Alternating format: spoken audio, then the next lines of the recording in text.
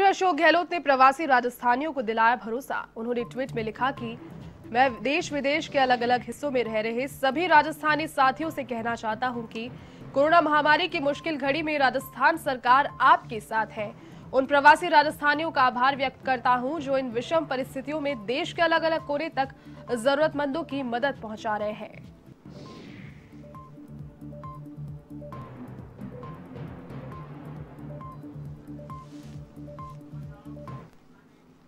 राजधानी के दूदू में